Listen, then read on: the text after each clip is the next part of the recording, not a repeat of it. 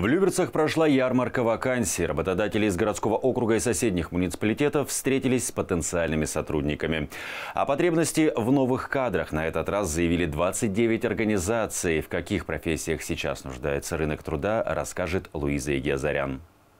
887 вакансий, подавляющее большинство – рабочие специальности. Городскому округу и ближайшим регионам не хватает сотрудников текстильного, швейного и пищевых производств. Дефициты среди медработников. В Люберецкой областной больнице на сегодняшний день свободно 50 рабочих мест. Востребованы в основном врачи-инфекционисты, врачи-анестезиологи, врачи-терапевты, медицинские сестры, анестезисты, просто медицинские сестры, санитарки. Буфетчицы требуются.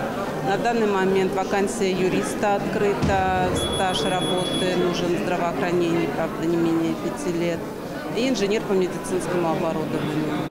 Потребность соискателей больше в разы. В городском округе ищут работу более 8 тысяч человек. Резкий скачок безработицы произошел из-за пандемии. Сотрудники Центра занятости исправляют ситуацию с помощью ярмарок вакансий чтобы дать возможность соискателю напрямую пообщаться с работодателем, а работодателям оказать помощь в подборе работников. Процентов у нас уже 18 реально нашли работу и как бы трудоустроились.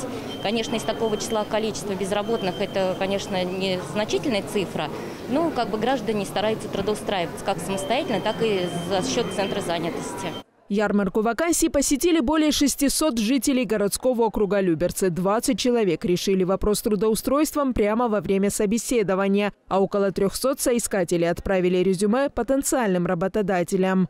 Сегодня стоит задача помочь нашим людям, нашим жителям найти работу. Мы ориентированы на то, чтобы создавать рабочие места у нас в Люберцах, но мы ориентированы на то, чтобы привлекать э, предприятия, бизнесменов к этим ярмаркам с ближней территории.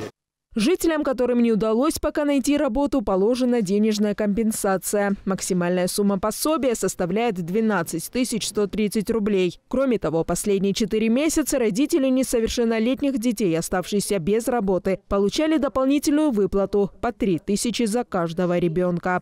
Луиза Игязарян, Сергей Гвоздев, телеканал ЛРТ.